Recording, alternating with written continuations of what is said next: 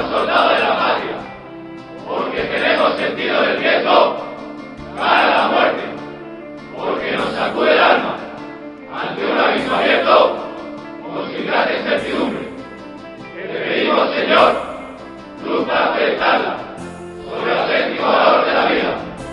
Cuando se gane o se pierda, que ganas del deber, sería que sujete nuestros ánimos ante el vértigo distinto del mundo, espiritual, para conseguir que sean nuestros.